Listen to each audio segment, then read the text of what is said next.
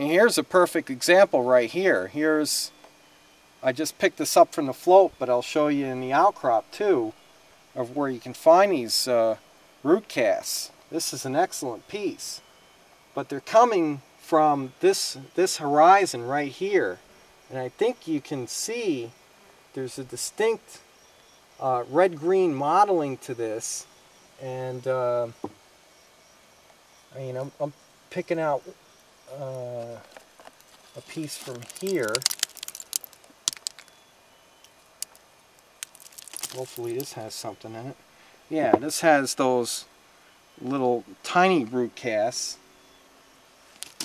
Um, here, here's a here's a vertical root cast right here. Right in here you can see a bunch of them. So they're definitely all in there. So last 30 to 50 uh, centimeters for sure.